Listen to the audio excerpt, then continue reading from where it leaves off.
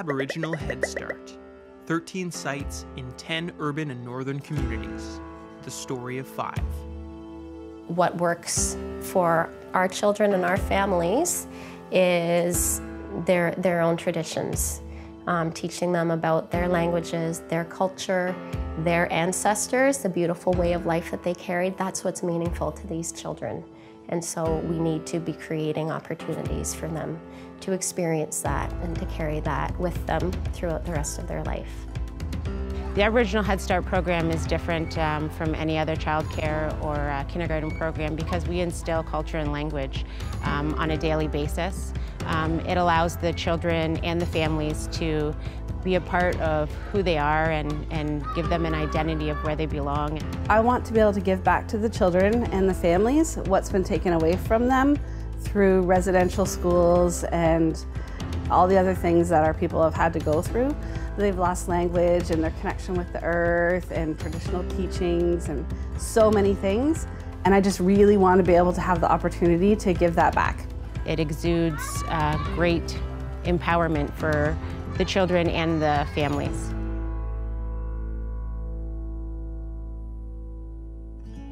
The culture itself is is really big. To me, it is big because you know, home is home. It's really far from here. That he gets to eat traditional food because he loves traditional food. Learning the culture, the drumming. They learn their language. They learn a whole bunch of cultural stuff actually. Learning to read, the syllabics, the reading, the little things that a child would learn up there and they get to learn this at school too, at Ottawa Inuit Children's Centre.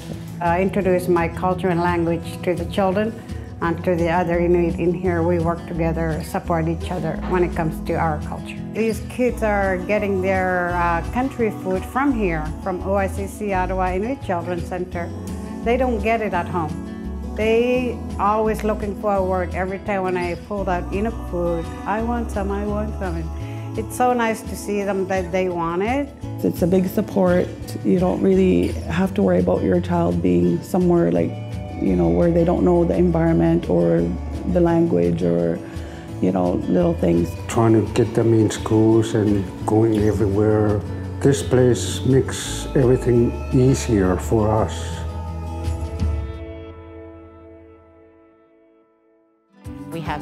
Components that we run off of, so it's culture and language, education, nutrition, health promotion, social support, and parent engagement. And uh, we incorporate that in all aspects of the program. This week we're teaching about hunting. And uh, outside here today, actually, we brought stuffed animals and bows and arrows. And we also brought the tobacco to give thanks for that, that life that the animal would give us. Because this month we are, we are talking about harvest and getting ready for winter, hunting is part of that. You will see us showing the children how to respectfully hunt, how to, how to feed their families, and how our ancestors would feed their families and prepare for the winter time. I tell people, if, you know, if you can, if, if you can get in, you know, if you have some native in your background and you can get into this program, do it. My son can already count to 10 in two languages, in Mohawk and in, and in English. Um, I just feel he's way ahead of the game already. It's huge because right now for his age group, there isn't even any type of schooling. So he would be in a daycare, which I'm sure they do teach a, a little bit of things there, but th there's no way they're, they're going to this much detail with him about, you know, just about everything.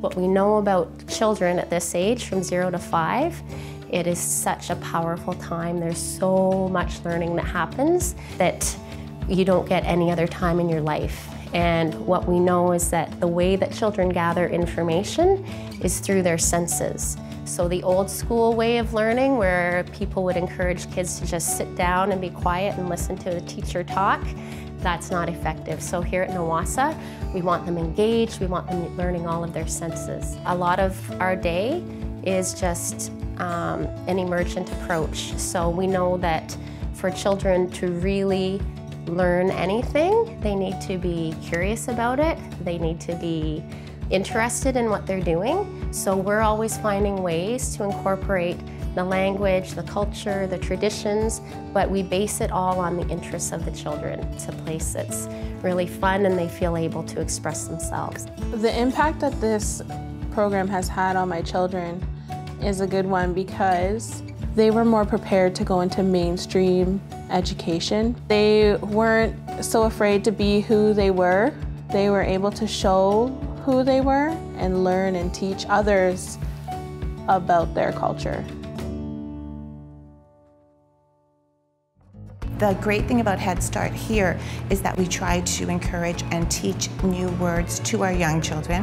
Uh, in my class, a lot of the children are just starting to talk, so which is great because you know they're learning the English words, but also we're trying to incorporate the, the native language. Oh, I love that there's a place where we can come and like it integrates our culture because you know we don't get to see that so much anymore. And you know, we get to have smudge and we get to pray. And there's like little words that we learn, like that the children learn. And they get to hear our language. And they get to see the medicines that we grew up with. And, you know, they have themes where they'll set up teepees and furs and lay them out for the kids to be able to touch and explore on that. And I say it'd be the best choice you can make for you and your children. Like we've gained so much from here. And such a great experience and the people that work here and the staff and the parents that come here. It's just a great overall feeling of family and connected like with nature and the education part of it and it's really good start for children. It's very welcoming here. Like it's not just about one specific cultural experience. We've come here and done drumming with the kids, showed them different powwow styles, and we love it. 100% we love it, so that's why we come back every with every child. Culture is really important. To myself, I'm Métis, and I never grew up that way. So again, even as old as I am, and as the, our parents are saying the same thing, that they're at least they're getting some of that here, either renewing it or, or reliving it, or they've heard about it, and now they actually have that.